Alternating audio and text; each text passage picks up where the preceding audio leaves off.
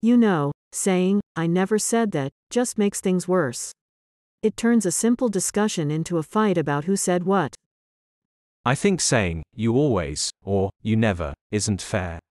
It's like we're ignoring all the efforts our partner is making. Responding with yes, but is like pretending to agree while actually dismissing the other's concerns. It doesn't help at all. Comparing your partner with someone else is a no go.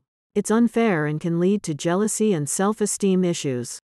Bringing up past relationships to make a point.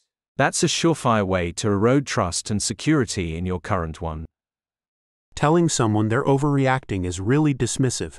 It's like saying their feelings don't matter. And saying, calm down, just adds fuel to the fire. It's the opposite of helpful. Minimizing your partner's concerns by saying, it's not that big of a deal, just isn't right. It shows a lack of empathy.